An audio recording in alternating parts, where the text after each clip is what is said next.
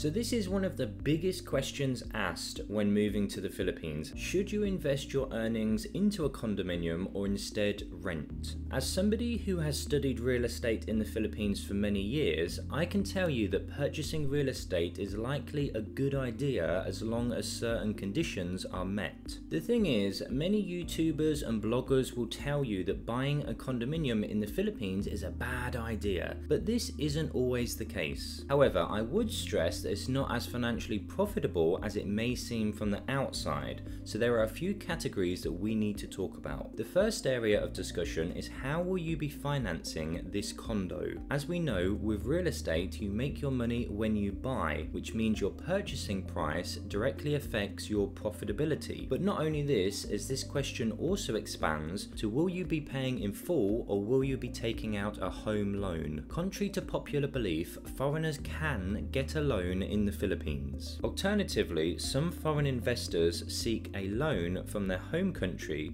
so that they're able to purchase a condominium in the Philippines. However, the loan interest will affect profitability if you're renting out your condo each month, so this is one area to consider. The next category dives into your investment goal. This is asking the big why questions. Why are you deciding this location? Why is this condominium better than another? And ultimately, why are you investing? The latter question is the most important. If you're purchasing this condominium for a base or somewhere to live in or for your family in the future, it can be an excellent investment. But if it's solely for financial reasons, this can be slightly more challenging. Many foreign investors have a financial goal to purchase a condominium to later sell in 10 or 15 years. But what many real estate agents don't tell you is that it can be extremely challenging to sell a second or third hand condominium in the Philippines, especially due to the developments and rapid speed of new builds. Think about it like this as a buyer, you could buy a brand new condominium in the Philippines for 2.5 million pesos or a second hand unit for 3.4 million pesos. On the face value, it's clear to see which is more desirable. This is not to say that it's impossible to sell a second or third hand unit in the Philippines in the next 10 or 15 years. Of course, if the unit is unique or in an accessible location, it can be in high demand. But the Philippines real estate industry has changed a lot, so this is another area to consider if you're planning to sell long term in the future. The third category involves added extras. These extras can be just about anything, and this includes increased condo dues, taxation, or additional fees your condominium will need, such as insurance.